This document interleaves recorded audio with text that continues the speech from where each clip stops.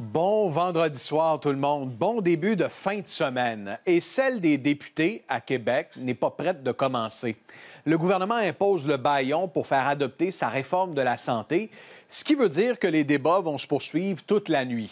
Et c'est pas parce que la session euh, au Parlement se termine que les vacances commencent nécessairement. François Legault prévient qu'avec la grève qui s'étire, ça va brasser dans les prochaines semaines.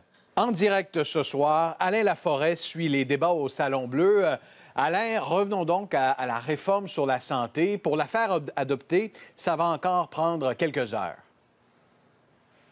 Plusieurs heures, possiblement adoptées en fin d'avant-midi samedi, voire en début d'après-midi.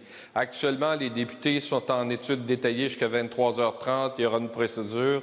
À partir de 2h30 du matin, 3h, on va partir pour 10 heures où on va analyser les amendements avant d'adopter le projet de loi. C'est très long, le passer euh, un baillon, et ça ne fait pas l'affaire du tout euh, des oppositions de devoir adopter cette réforme de la santé sous baillon. Écoutez-les. On peut nous définir le terme bénévole euh, ici.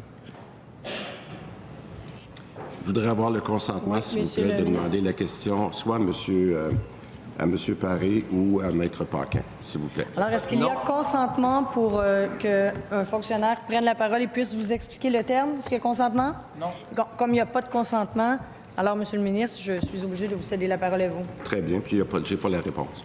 Quand tu changes un système de santé puis que la vie des patients est en jeu, être tanné, là, c'est pas un enjeu, pour- une raison pour botcher le travail. Savez-vous quoi? Ce sont les Québécoises et les Québécois qui vont en payer le prix. Regardez, il y avait à peu près 350 articles. Il y en a 1200 au total dans l'immense réforme mastodonte du gouvernement. C'est normal que ça prenne du temps. Oui, ça prend du temps et puis la nuit va être longue, euh, Alain. Euh, autre dossier, c'était jour de fin de session, donc jour de bilan.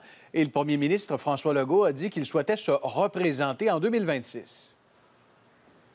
Ouais, il a trouvé la, la session difficile. Il a admis qu'il avait perdu la boussole parce que plusieurs décisions controversées. Mais ce n'est pas la première fois qu'il le dit, euh, Pierre-Olivier, qu'il sera là en 2026. Écoutez-le. J'ai évolué. Pendant la campagne, j'ai dit qu'il y avait deux conditions. Puis, il y a quelques mois, j'ai dit qu'il n'y avait plus de conditions, que oui, je vais être là en 2026.